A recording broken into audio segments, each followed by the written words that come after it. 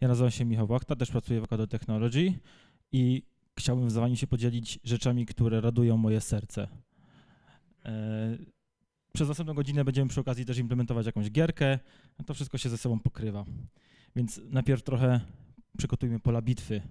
Co to są te strumienie? Kto wie? No, zapytam zaraz. Więc to jest nowy sposób definiowania biznesowej logiki aplikacji. Y, nowy sposób. Robimy to samo, tylko że inaczej. Tym razem skupiamy się nie na tym, co trzeba zrobić, nie, nie, nie na tym, jak trzeba co, coś zrobić, tylko na tym, co trzeba zrobić właśnie, na, na, na transformacjach danych, tylko i wyłącznie. I danymi może, mogą być też nie tylko inty, listy i inne rzeczy, mogą też być funkcje, prawda? Albo kod po prostu. To też jest jakaś tam dana.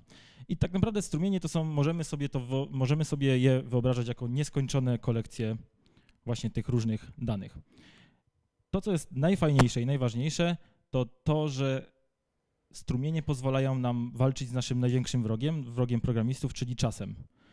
Nie, nieważne, co się stanie wcześniej czy później, ważne jest, co się stanie, tak? Ważny jest tylko ten efekt końcowy, dla nas czas nie ma znaczenia. I to jest jakby ta taka naj, najważniejsza, gdybym miał powiedzieć, co jest najważniejsze, to właśnie to. Najważniejsze, najważniejsze jest y, brak powiązania z czasem.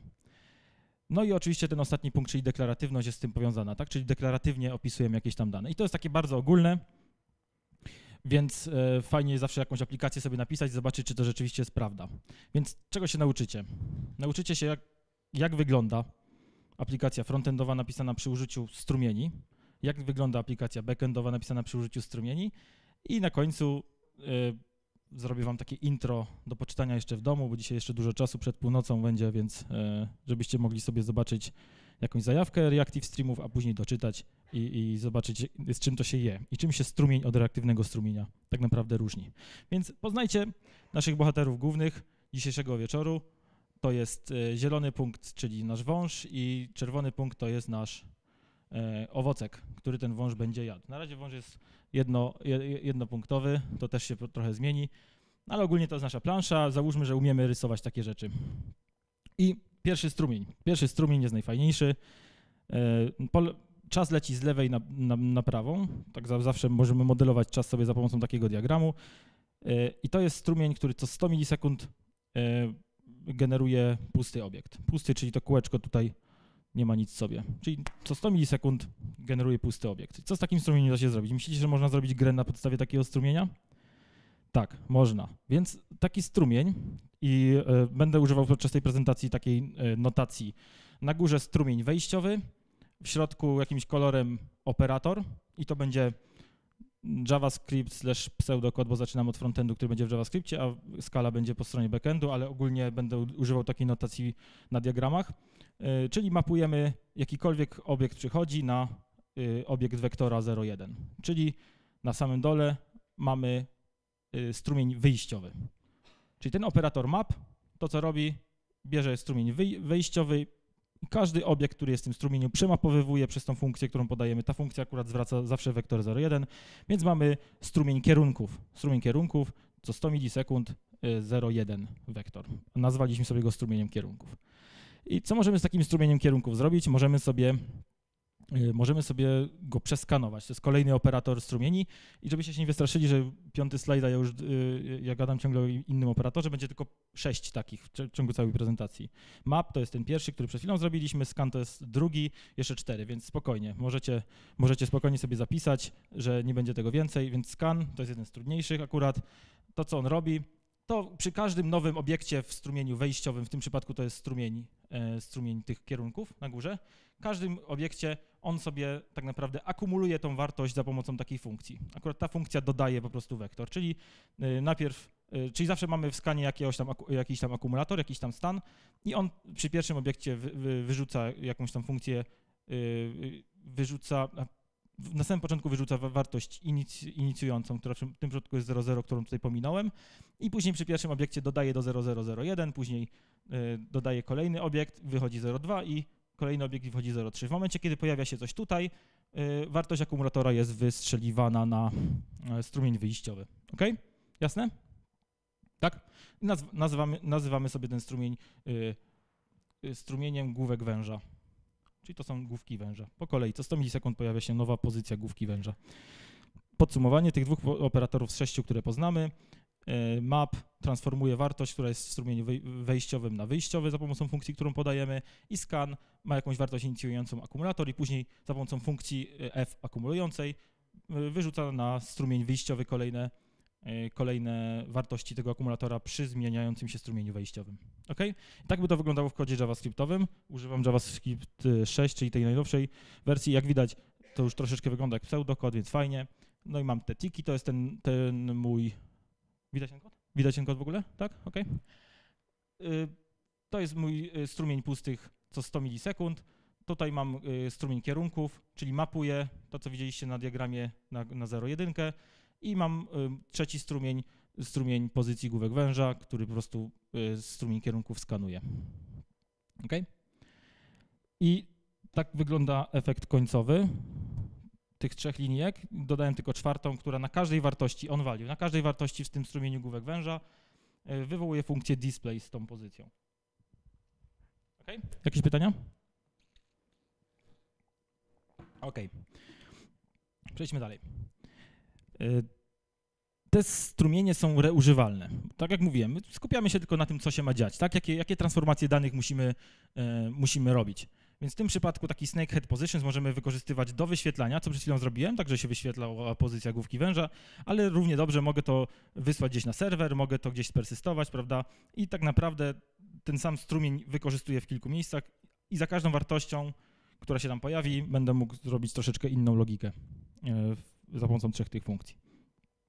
No i druga ważna rzecz, tylko dwie są, jeżeli chodzi o strumienie. Pierwsza to jest to, że są reużywalne, a drugie to, że są, leniwe, czyli jeżeli nie będzie żadnej takiej funkcji podpiętej na onvalue, to po prostu nic się nie będzie działo. Możemy sobie podefiniować te wszystkie transformacje, ale jak będzie się na końcu z tą wartością nic działo, to po prostu nic się nie będzie działo ogólnie, czyli nie będzie żadnego, żadnej pętli, która zawsze gdzieś tam w while'u coś tam sprawdza, nie ma, nie ma takich rzeczy. Po prostu nic się nie będzie działo, procesor nie będzie używany.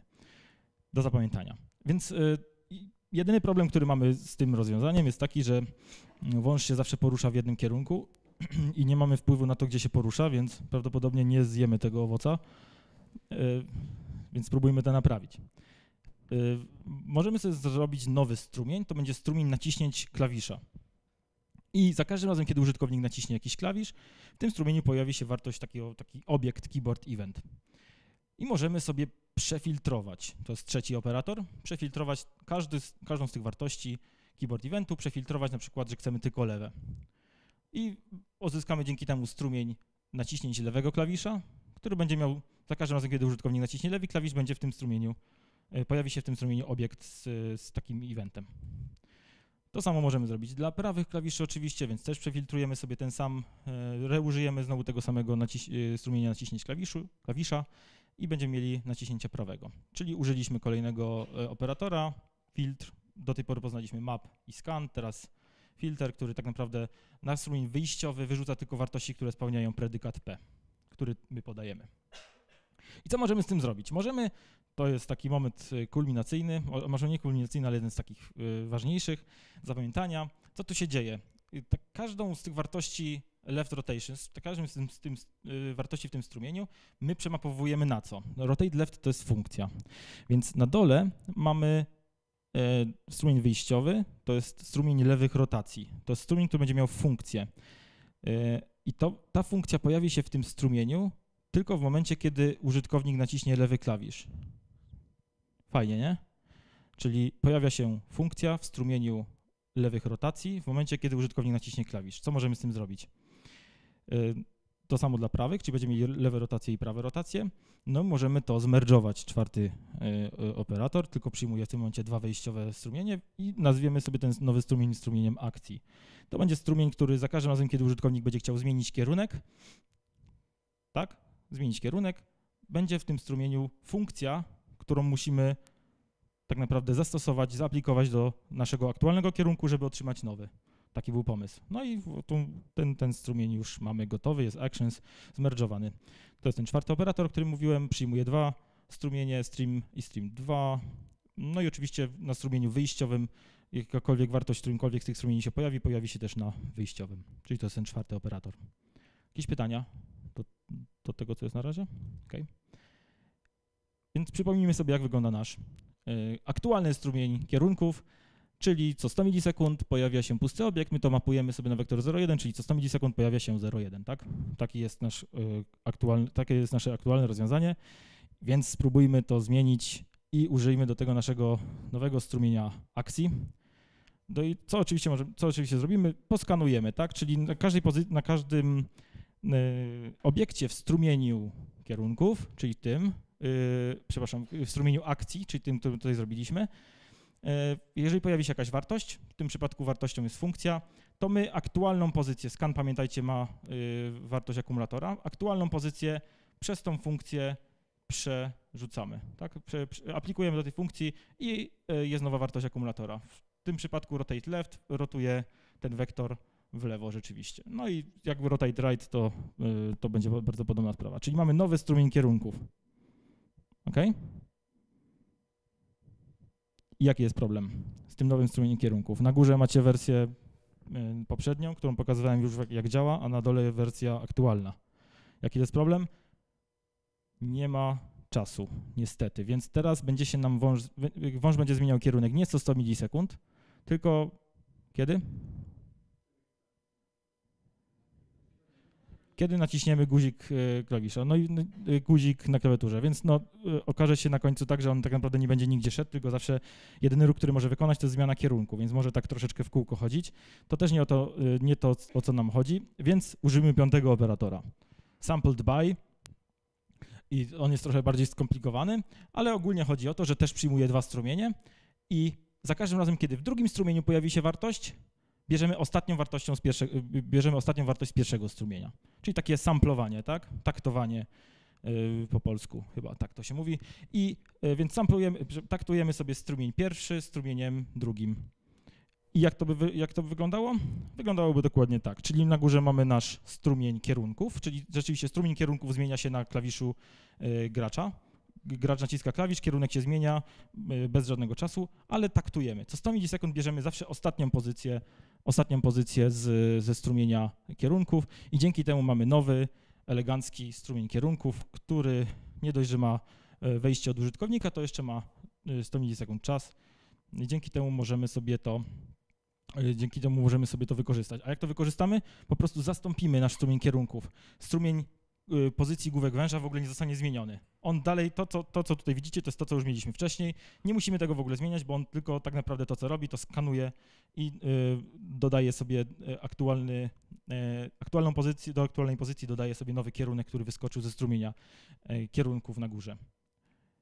I tak by wyglądał ten kod, trochę JavaScriptu, ale w zasadzie to, co pokazałem wam na diagramach, to jest y, jeden do jeden, kropelka w kropelkę tutaj nie ma się co skupiać, bo to nie jest JavaScriptowa grupa, ale gdyby tak podsumować sobie, jak wygląda aktualna implementacja, działa w ten sposób, kropeczka się porusza, na razie wąż ma jedno, yy, długość 1, no ale ogólnie do tego, żeby zrobić coś takiego, stworzyliśmy 10 strumieni i 5 operatorów. Tak to wygląda. Jakieś pytania? Pewnie.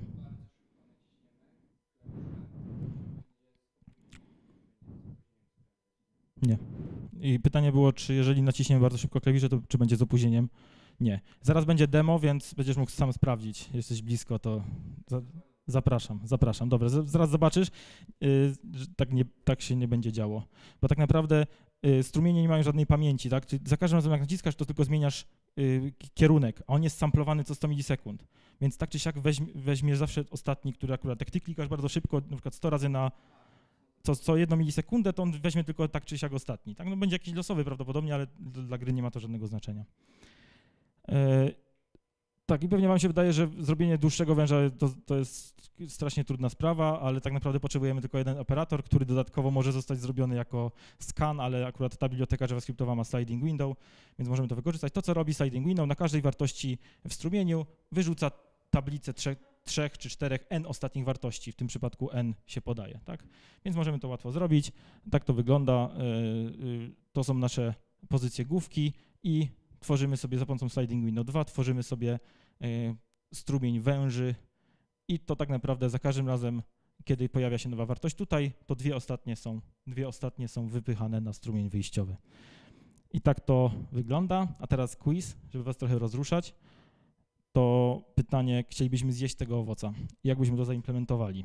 Wypisałem wam tutaj pięć operatorów, które, sześć, błąd na slajdzie, sześć ope- operatorów, których wykorzystaliśmy, 11 strumieni, które mamy na razie i teraz chcemy wykorzystać strumienie, które strumienie wykorzystać i które operatory. Żadnego nowego nie potrzebujemy. Pytanie do was. Kto wie? Jedzenie owoca. Nie ma pomysłów? To zgadujmy. Z tych sześciu operatorów, który?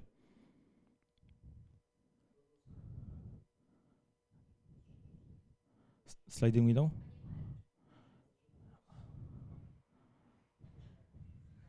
Blisko, blisko. blisko. Zróbmy filtra zatem, dobrze, bo tego nie było. Więc jak nie, ma, nie było filtra, no to na górze mamy pozycję główki węża, czyli strumień pozycji główek węża. Filtrujemy po pozycji y, owocka, tak? Jeżeli owocek jest akurat na 1-2, to my za każdą nową pozycją główki węża po prostu filtrujemy, tylko te pozycje są na strumieniu wyjściowym, które y, są równe pozycji główki węża, tak? No i dzięki temu na to, co mamy na dole, strumień wyjściowy z tego filtra, to jest y, strumień y, zjedzeń owoców przez węża. Proszę? A co będziemy robić ze skanem? Tak, y, wynik. Oczywiście, tak. y, Można tak zrobić, ale nie będę wam pokazywał jak wynik y, jeszcze teraz, dlatego że chcemy zrobić multiplayerową grę, więc wynik będzie musiał być y, na serwerze trzymany, więc to nie te strumienie. Jak to będzie wyglądało? Zróbmy to tutaj, się nie przejmujcie tym. Ok, więc mam tego węża i on sobie tutaj jeździ. Powinien się wydłużać. Tak, to wygląda. Y, I co? Chcesz Lechu sprawdzić? Nie? Dobra. E, to idźmy dalej. Architektura. Architekturę takich systemów można bardzo łatwo przedstawić, bo to, co my potrzebujemy, to są strumienie, jakieś przejścia między strumieniami. Tak? Każda z tych strzałek tak naprawdę to jest ten operator. Każda z tych strzałek definiuje jakiś tam operator. Więc to, co my sobie tutaj robimy, to mamy te nasze tiki, czyli ten, y, ten strumień y, wejściowych z z y, pustych obiektów co 100 milisekund no i mamy ten nasz strumień y, naciśnięć przez y, użytkownika klawisza. I to później sobie filtrujemy na left, right, później mapujemy na rotację, tutaj znowu to merge'ujemy na akcję i tak sobie to wszystko płynie i na samym końcu mamy strumienie wyjściowe, tak? Strumień węży, który później wyświetlamy na przykład i strumień owoców, czyli za każdym razem, kiedy coś się pojawi w tym strumieniu, my generujemy nowy owoc. Tak, tak by mogło to wyglądać. No i y, mamy tą architekturę y, aktualną i teraz spróbujmy zrobić wersję multiplayerową. Jakie będą wymagania do tego? I oczywiście wszystko będzie strumieniem, to przypadkowo, y, nie, albo nieprzypadkowo, więc to co trzeba, to co będziemy musieli zrobić, na pewno serwer będzie musiał generować owoce, no bo y, dwóch graczy y, na różnych stronach świata, więc y, pewnie, pewnie nie będą mogli, się jakoś dogadać. Y, oprócz tego wyniki i oprócz tego musiał, musiałby serwer broadcastować pozycje wszystkich graczy na planszy do pozostałych, prawda? Więc takie trzy główne wymagania do tej aplikacji. Yy, I wszystkie te rzeczy będą musiały być broadcastowane. Wszystko powinno być streamem. I teraz, skoro już wiemy, w jaki sposób modelować sobie architekturę takich aplikacji związanych ze strumieniami, e, flow, czyli przepływ. Taka, e, przepływ ogólnie to, to jest definicja takiej architektury właśnie strumieniowej, czyli jak kilka strumieni sobie ze sobą merge'ujemy, coś tam oper, operujemy na nich, no to mamy jakiś jeden przepływ, prawda? I w tym przypadku nasz przepływ po stronie serwera mógłby wyglądać tak, ten sobie znak zapytania zaraz zaimplementujemy, ale ogólnie player states, czyli player, i tutaj jest player, żebyście- to jest bardzo ważne, bo tutaj jest player, czyli dla jednego gracza, bo to jest f- flow, przepływ dla jednego gracza, czyli y, gracz z przeglądarki wysyła nam te wszystkie, aktualnie mój wąż jest tutaj, prawda, i wysyła listę, to co zrobiliśmy wcześniej, mieliśmy w strumieniu węży, czyli listę moich pozycji wysyłam do serwera po prostu i to jest to. Ja, player state i to jeszcze imię moje, prawda, no tak żeby było wiadomo, żeby serwer wiedział z kim ma y, do czynienia. To bardzo, bardzo bezpieczne rozwiązanie. Y, Więc y, można y, imię plus listę pozycji wysyłać do naszego serwera. Tutaj zaraz będziemy implementować, a to, co serwer powinien wypluć z powrotem, no to z player state do tego samego gracza, czyli nie tylko jego pozycję, ale też pozycję wszystkich innych graczy, z którymi on gra, tak żeby mógł sobie to wyrenderować, prawda? No bo musi, musimy mieć grę, która jest interaktywna. Oprócz tego oczywiście strumień owoców i strumień wyników, czyli to, co we frontendzie nam zostanie, to jest tylko renderowanie tych rzeczy i podłączenie się do strumienia. A jak się pod- podepniemy do tego strumienia? No oczywiście użyjemy WebSocketa. No WebSocket jest akurat do tego idealny, dlatego że mamy jedno połączenie od klienta do serwera, dla każdego gracza jest osobne połączenie i w jedną stronę od klienta lecą te węże razem z imieniem, a w drugą stronę w tym samym połączeniu WebSocketowym wracają stany innych graczy, czyli imię i jego aktualna pozycja węża, owoce nowe generowane, no i wyniki, prawda, wszystkich graczy, tak żeby, żebyśmy mogli też wyświetlić graczowi, jaki jest stan. I teraz mamy pierwszy, pierwszy slajd, gdzie jest kod skalowy, więc bardzo fajnie. Jak to wygląda? E, to jest tyle, żeby zrobić serwer, który za pomocą e, e, z, z WebSocketa robi, z połączenia WebSocketowego robi strumień. To jest tyle. Wystarczy tylko pod takim pathem SnakeSocket, czyli użytkownik, czyli przeglądarka będzie musiała uderzyć na naszego localhosta, który tutaj definiujemy, jakiś interfejs, port, coś tam, coś tam i Y, na ten snake socket będzie musiał uderzyć, żeby połączyć się do tego WebSocketa i tyle. Handle WebSocket Messages i tutaj przekazujemy, zobaczcie, jaki fajny w adce jest flow. Y, więc my ten flow zaraz będziemy definiować, ale to jest tyle, jeżeli chodzi o server side. Y, takie, wiecie, boilerplate'owe rzeczy. To jest ten cały boilerplate, który musimy zrobić, a cała reszta to już jest flow, czyli strumienie, mapowania, filtry, to co lubimy, prawda?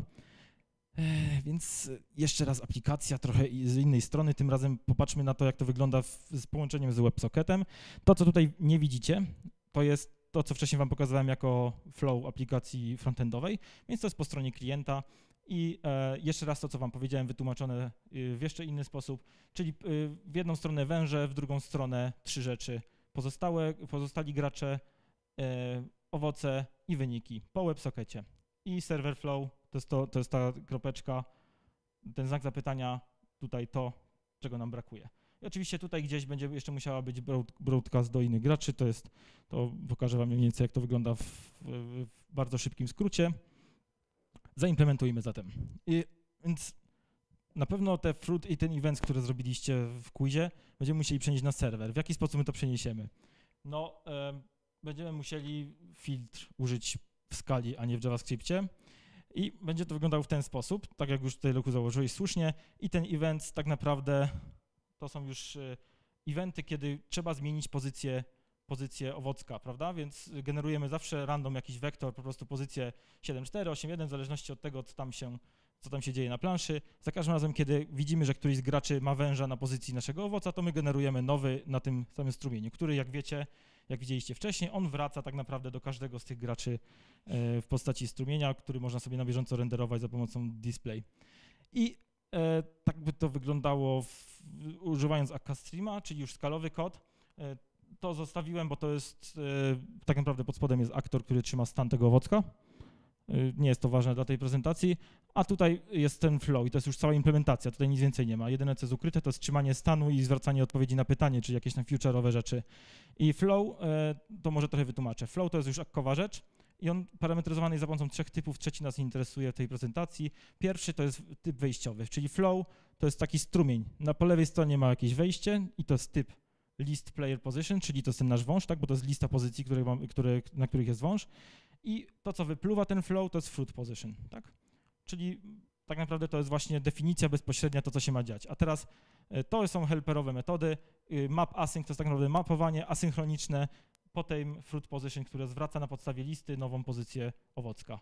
Tak, to jest future, jak widzicie, więc y, to jest tyle. Cała, cała ta, te dwie linijki to jest już nasz fruit flow, który tutaj przed chwilą zdefiniowałem wam na tym, na tym slajdzie.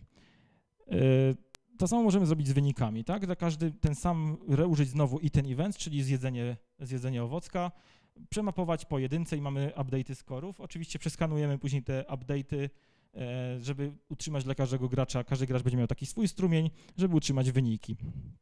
I tak będzie to wyglądało w naszym kodzie, czyli znowu mamy flow, wejściowym, e, na wejściu mamy fruit position, a na wyjściu mamy inta. I później mapujemy sobie, jeżeli to jest nowy owocek, to dajemy jedynkę, jeżeli to jest e, stary owocek, to dajemy 0 i skanujemy sobie takim, taką funkcją dodawania i tyle. I to jest znowu cała implementacja score flow. E, no i e, jak widzicie, logika po stronie serwera jest trochę prostsza niż po stronie frontendu, co może dziwić, ale tak jest, tak, tak niestety jest, albo stety. Tylko tutaj miałem już miejsce, żebyście mogli zobaczyć, w jaki sposób strzałki są zaimplementowane, czyli tu mamy operatory, których, które wykorzystałem.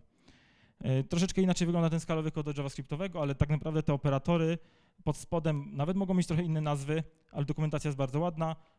robią w zasadzie to samo. Zawsze możemy znaleźć odpowiedniki w obu tych bibliotekach. Natomiast zasada działania, jeżeli chodzi o de de deklaratywność i używanie tylko trans transformacji danych jest dokładnie ten sam, więc można bardzo łatwo, bardzo łatwo do tego podejść. A to jest y, funkcja Game Logic Flow i ponieważ nie podoba mi się zbytnio graph DSL akkowy, to jest jeszcze młoda biblioteka, dlatego wydaje mi się, że łatwiej jest pokazać komentarz do tej metody niż samą metodę, y, niestety, ale y, tak, taki miałem pomysł na to, więc y, mamy coś takiego, że tutaj wchodzą nam te player state. Jak widzicie, tu jest flow player state, a to, co zwraca Game Logic Flow, to jest jakiś tam game event. I tu jest wejście, tu jest wyjście. Więc y, to, co się dzieje, to, co się dzieje później w tym y, graph DSL-u pod spodem, to jest podpięcie, najpierw broadcastowanie tych player state'ów, później podpinanie fruit flowa, który przed chwilą widzieliśmy, później broadcastowanie tego, tego fruit flowa, później score flow, to jest to, co widzieliśmy jako drugie zdefiniowane, zipowanie tych dwóch rzeczy i e, w ten sposób, e, w ten sposób w tym game evencie będą i aktualizacje dotyczące owocka i aktualizacje dotyczą, dotyczące y, innych graczy. I to tak naprawdę jest zwracane do klienta. To jest cały nasz y, flow. Tak to, tak to by wyglądało dla dwóch graczy, czyli mamy najpierw stany graczy A, gracza A, przechodzą przez ten flow, który przed chwilą zdefiniowaliśmy, y, generowane są game eventy i później merge'ujemy sobie na, na wskroś tego całego systemu, merge'ujemy w sensie broadcastujemy sobie te eventy do innych graczy, oni sobie to merge'ują i wysyłają z powrotem po WebSockecie do, do swojego frontendowego klienta. I e, flow, który tam wcześniej był znakiem zapytania, wygląda, to jest całość tego kodu, wygląda w ten sposób. E, najpierw znowu mamy flow z message'a na message'a, to jest message WebSocketowy. To jest tak zdefiniowany po prostu w adce, jest message jako typ, który przychodzi po WebSockecie. To, co możemy zrobić, to go wylogować za pomocą jakiegoś logera. E, później możemy wyciągnąć, to jest troszeczkę taki hark, ale, ale działa dla małych wiadomości zawsze, więc e, wyciągamy po prostu tekst z, tej wiadomości y, z tej wiadomości WebSocketowej, mapujemy sobie do naszego jakiegoś case objecta, który jest player state'em i później via ten flow, który zdefiniowaliśmy dla logiki e, gry i później mamy kolejny flow, który broadcastuje do innych flowów i później to, co nam zwraca tak naprawdę to wszystko, to jest game event w tym miejscu i my tylko ten game event zamieniamy z powrotem na message i ten game event wraca do przeglądarki i to jest tyle, więc cały ten flow można sobie później wchodzić z poziomu IDE do każdej z tych rzeczy i sobie sprawdzać, co tak do, dokładnie się dzieje, a to jest nasz widok na cały ten system, tak? On tak pracuje. Multiplayerowa część to jest y, cała implementacja tej multiplayerowej części. Szczegóły można sobie doglądnąć, wchodząc w poszczególne części.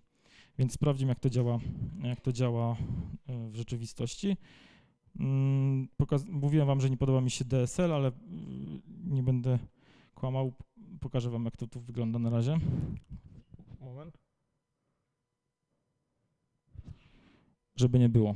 Dobra, więc to, co tutaj zrobiłem, to był ten wykres, który wam pokazałem, a tak na razie to wygląda. I tak macie jakieś pomysły, nie wiem, czy, nie, nie, nie używaliście jeszcze, ale jak macie lepsze pomysły na to, no to ja oczywiście czekam na y, pull requesty albo jakieś inne typy komunikacji. W każdym razie jest to 10 linijek, które nie za bardzo mi się jeszcze podobają. Ogólnie Akka ma tutaj taki pomysł na graf DSL, jak widzicie tutaj tego, ten operator y, plemnika, tak? operator plemnika, więc operator plemnika, on tutaj sobie próbuje przesyłać po prostu te, te dane, które wlatują z jednej strony dalej, no i to tak wszystko jakoś sobie płynie. No I na końcu, i na końcu definiujemy, co tak naprawdę chcieliśmy zrobić. Więc tutaj graf DSL pozwala zdefiniować pewien kształt tego wszystkiego, ale jak widzicie, to takie trochę taki nieład i, i taki nieskładny, tak? W porównaniu z tym, co mamy tutaj, to co mam pokazane na końcu, no to ja bym tego typu rozwiązania bym preferował, bardziej są czytelne. Więc no tak to wygląda, ale młoda biblioteka, więc na pewno to jeszcze się uda, przepraszam, uda się zrobić lepiej. Więc odpalimy sobie to. Serwer stanie i teraz tą samą aplikacyjkę, którą wam tutaj pokazałem, ona się teraz powinna wpiąć do WebSocketa, więc będzie wersja multiplayerowa. Super. Jak widzicie, na górze jest score 0.0. Jestem na razie graczem A, drugi się jeszcze nie wpiął do gry. Mm, zjem sobie ze dwa, może trzy. I teraz zrobię nowe okno, tak żebyście widzieli. O, localhost. W URL-u podaję po prostu kim jestem. O, i to tak wygląda. I sobie tym, tym drugim gościom, o, trochę mniej się zyska. O, tam zjadł mi przypadkowo. I, I mogę sobie z nim walczyć. O, nie ma zderzania. Zapraszam do kontrybucji. co by mi się miało zdarzyć, kiedy się zderzą, czy ja to jest wina, nie wiadomo, nie? Proszę? Ten z lewej strony, no jest to jakieś rozwiązanie. No i tak to, i tak to wygląda w akcji. I przejdźmy w takim razie do części ostatniej, czyli e, Reactive Streamy. Mianowicie ta gierka już jest jakaś, prawda? Mamy dwóch graczy, możemy sobie y, tam, y, jak widzicie, jeść te owocki. A teraz wyobraźmy sobie, że to może nie jest do końca Snake, albo jest Snake na bardzo dużej planszy i jest tysiąc takich graczy. Co się może stać wtedy z serwerem? No prawdopodobnie się troszeczkę obciąży, przeciąży, będzie, będą jakieś wyjątki leciały dziwne. E, bo musimy przekroczyć asynchroniczną barierę, prawda? Czyli bo to są systemy, które się komunikują, są zupełnie niezależnie taktowane, się komunikują po prostu przez tą asynchroniczną barierę. Więc mamy na razie takie dwa klasyczne sposoby na rozwiązywanie tego problemu. Jeden to jest push, drugi to jest pull. I każdy z tych rozwiązań ma swoje wady i zalety, jak zawsze to bywa. W przypadku push modelu, y, w momencie, kiedy subscriber jest wolniejszy, tak, czyli y, procesuje te wiadomości o wiele wolniej niż publisher je y, wysyła, no to w pewnym momencie przepełni się bufor mm, tych wiadomości, na które subskryber jeszcze czeka z procesowaniem. No i w tym momencie, jak, jak, się już bufer przepełnia, no to zaczynają się wszelkiego rodzaju różne problemy, tracenie danych, ale też innego rodzaju obsługa tego wszystkiego y, przez CPU i tak dalej, więc to nie jest zbyt bezpieczne rozwiązanie. Natomiast w, y, w odwrotnym przypadku, pamiętajcie, że nie ma tego w środkowym przypadku, nigdy systemy, które są asynchroniczne nie działają tak samo szybko, to jest niemożliwe. Y, prawdopodobieństwo jest bardzo niskie, może, może w ten sposób. I e, więc drugi przypadek jest tylko jeden, mianowicie kiedy subscribe, subscriber jest szybszy, no to wtedy mamy idealne rozwiązanie. Tak, no on po prostu, publisher y, bardzo szybko produkuje te wiadomości, ale i tak wiadomo, że subscriber sobie da radę, bo, bo je po prostu przetwarza jeszcze szybciej niż są produkowane. Drugi, drugi model pool, o którym pewnie też słyszeliście, ma, ma tak naprawdę odwrotne, e, odwrotne właściwości. Kiedy kiedy subskryber jest szybszy, e, musi wysyłać za każdą wiadomością, musi wysyłać proszę mi prześlij tą wiadomość, prawda? Czyli to jest tak jakby w asynchronicznych systemach to jest tak naprawdę podwojenie się komunikacji, dlatego to jest troszeczkę za wolne, wolelibyśmy jednak uniknąć wysyłania dwóch wiadomości na zrobienie jednej rzeczy. E, natomiast fajne jest to rozwiązanie w momencie, kiedy publisher jest szybszy, no bo wtedy to wysyłanie wiadomości typu please powoduje, że ten publisher jest wolniejszy, prawda? W sensie on może tylko wyprodukować tą swoją daną w momencie, gdy w momencie, gdy y, subskryber o nią poprosił. No i jak się, pewnie domyślacie, reaktywne streamy troszeczkę na tym bazują. Mianowicie to jest to i to. E, system zazwyczaj tak w reaktywnych streamach zaczyna w, w trybie pull i w momencie, y, czyli w trybie pull nic się nie może dziać, dopóki ktoś o coś nie poprosi. I właśnie o to chodzi, tak? Consumer, po prostu wysyła y, prośbę o jakiś element do swojego publishera, co nazywamy po, po, popytem, tak, czyli demand. I publisher e, e, w momencie, kiedy dostanie jakiś demand, nie musi być na jeden element, może być na 5 milionów elementów, załóżmy, że subscriber po prostu może sobie poradzić z 5 milionami, więc wysyła zapotrzebowanie na 5, 5 milionów elementów, wtedy publisher mówi, ok, 5 milionów elementów, fajnie i przechodzę w push mode i te 5, i produkuję te 5 milionów. W momencie, kiedy skończę, yy, skończy się zapotrzebowanie, w sensie te 5 milionów wyprodukowałem, nie było w tym czasie niczego yy, dodatkowego zapotrzebowania, nie było dodatkowych 5, no to po prostu przechodzę znowu w pull, w pull mode, tak? Y, więc y, dzięki temu to jest tak naprawdę definicja tego jak, tego, jak działają reaktywne streamy. To są strumienie, e, strumienie z e, podażą i popytem. Tak w wielkim, wielkim skrócie. Jakieś pytania co do tego? Okej. Okay. E, czasami jak będziecie czyta, czytali sobie dokumentację, jest takie coś jak back pressure, to jest dokładnie to samo co demand, tylko że odwrotność. W sensie, jak nie ma zapotrzebowania, no to wtedy mówimy stop, nie, nie przypychaj mnie, tak? Czyli właśnie da, dajemy takie ciśnienie. Nie wiem, jak to będzie po polsku. Back pressure. I taki przykład, i tu będzie animacja, więc będzie fajnie, ale 10 y, sekund chyba to trwa, zanim ona się odpali, więc teraz powinienem coś wam tłumaczyć. Y, ale ogólnie to jest system z czterema, e, z czterema e, systemami asynchronicznymi. Po lewej jest publisher, po prawej jest subscriber, procesor to jest i publisher, i subscriber w jednym. Strzałka w lewą stronę to jest ten popyt, strzałka w prawą, e, ta kropeczka, która przepływa, to jest ten nasze 5 milionów elementów, tak? Za wielkim, wielkim skrócie. Czyli jak widać, w tym momencie system nie pracuje nie pracuje. I w momencie, kiedy subscriber zgłosi, ten prawy subscriber zgłosi popyt, to też się nic nie dzieje, bo publisher jest gdzieś tam po lewej stronie, więc ten popyt musi spłynąć w stronę źródła, dopiero wtedy źródło może wygenerować informację i ją przesłać, prawda? Więc tutaj też widać, na tym przykładzie ładnie widać, że jeżeli którykolwiek z tych systemów nie będzie Reactive Stream y, compliant, to niestety y, cały ten system nie będzie działał tak jak trzeba, nie będzie bezpieczny, więc y, trzeba, niestety trzeba zadbać o to, żeby każdy, y, ka, każdy moduł asynchroniczny w waszych systemach był y, zgodny z, z reaktywnymi stream, streamami, żeby to działało w bezpieczny, bezpieczny sposób. Y, Dobra. Jest, oczywiście wszystko musi teraz mieć manifest, więc, więc reaktywne streamy też mają manifest. Możecie sobie wejść na reactivestreams.org i będziecie mogli przeczytać ten manifest. E, tak wygląda całe API. Tak wygląda całe API. Ponoć półtorej roku y, mądrzy ludzie myśleli nad nazwami głównie, no ale tak się to skończyło. I to jest Javowy interfejs, który jest w Jarce, normalnie dostępny, można sobie ściągnąć, zobaczyć kompatybilność, tam sprawdzić swoje, swojego systemu, o tym zaraz powiem. Więc ogólnie to jest dosyć proste, to co widzieliście przed chwilą, pewnie bardzo szybko możecie sobie bez mojego tłumaczenia e, e, przepisać to, co wam powiedziałem, przetłumaczyć na, na, ten, na ten kod. Cztery interfejsy, siedem metod, y, nic trudnego, tak? No niestety, to jest bardzo proste API, ale bardzo trudna implementacja. Jak sobie wejdziecie na GitHuba, to na, na dole jest link, te, te slajdy ja wrzucę na, na meetupa na końcu, więc będziecie mogli sobie tam kliknąć i dla każdego z tych interfejsów, które są czterometodowe, czy trzymetodowe, czy jedno nawet, jest po prostu lista, e, lista warunków, które muszą być spełnione. I to są najczęściej jakieś race conditiony po prostu, tak? Że jeżeli y, wywołamy metodę, co tu jest, cancel i to może spowodować, że publisher coś tam zrobi, jeżeli on miał stan, jeżeli nie, system nie jest w shutdownie, no to wtedy, no i takie rzeczy, tego typu rzeczy są tam y, wypisane, więc jak spróbujecie sobie zrobić swoją bibliotekę do reaktywnych, streamów, no to prawdopodobnie wam się nie uda. E, ale, ale fajne, fajna rzecz jest taka, że jest coś takiego jak Technology Compliance Kit. Możecie sobie zobaczyć, gdzie wam się nie udało przez y, odpalenie po prostu testów. Y, Jest taki kit dostarczony z reaktywnymi streamami. Możecie swoją implementację przez to przepuścić, zobaczyć, gdzie popełniliście błąd, no i poprawiać później przez parę tygodni i będzie dobrze. Może. I, i już niektórzy tak przeszli przez ten proces cały. To są y, wielkie firmy y, lub duże projekty w większości przypadków, nawet w JDK 9 będzie już implementacja reaktywnych streamów, więc fajnie.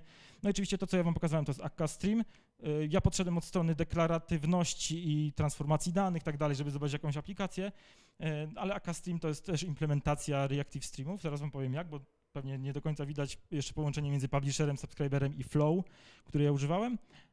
No i jest jeszcze Project Reactor, Ratpack, Vertex, który jest taki poliglo, poliglotyczny, slick. E, oczywiście integracja jakimiś z, bazy, z, baza, z bazami danych czy z kawką. Standardy. No i teraz, jak to wygląda w Akka Stream? To ten source, y, przepraszam, ten flow, który widzieliście, którego ja używałem, to jest tak naprawdę procesor. I on implementuje, jak wejdziecie sobie w kod, on implementuje tego procesora z, tego, z tej jarki, z tego API reaktywnych streamów.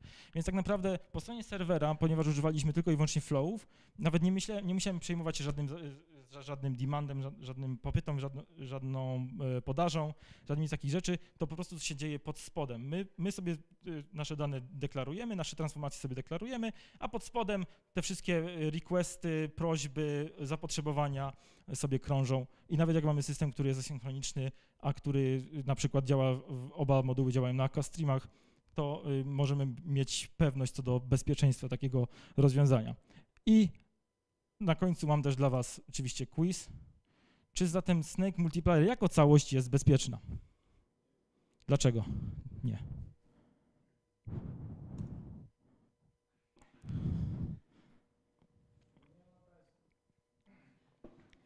A skąd wiedziałeś, że nie ma testów? Nie ma testów, to prawda. Ale tak naprawdę, słuchajcie, ta JavaScriptowa biblioteka, której użyłem, ona jest tylko strumieniowa. To nie jest Reactive Streams, tak? Tam nie ma żadnego e, sprawdzania e, popytu. Co 100 milisekund wysyłam do serwera i koniec, ja się tym nie przejmuję, tak? Jeżeli serwer będzie przeciążony, i tak będę walił tam co 100 milisekund. Więc niestety strona serwerowa jest bezpieczna, ale tak jak wam mówiłem, ponieważ e, nasi, nasi klienci po stronie weba mogą nas co 100 milisekund spamować, no to nie, nie mamy szczęścia.